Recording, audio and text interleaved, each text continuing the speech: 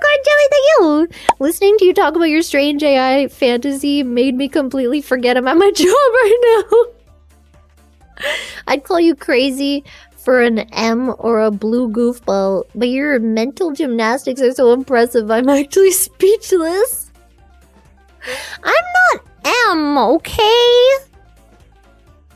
I'm not. I'm a switch. And you can tell because at the beginning of the fanfic, I was berating him and he was in his cell and he was all sad. And I was like, yeah, your mom is upset with you. and then later, later, I get, ooh.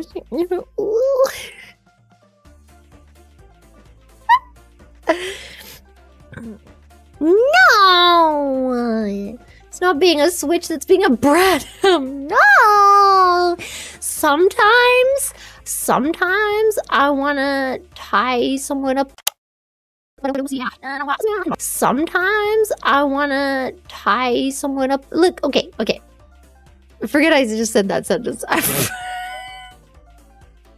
Okay, you know, you know, okay, with Loki, yeah, maybe. Okay. But that's just because he's like an all powerful friggin' god, okay? I can't really do much. But when it comes to like you know, Michael Cera in like every movie he's in, right? I also am a big fan of that.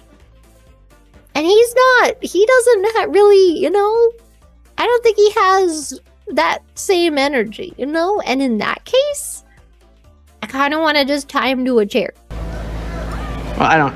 It's really messed up.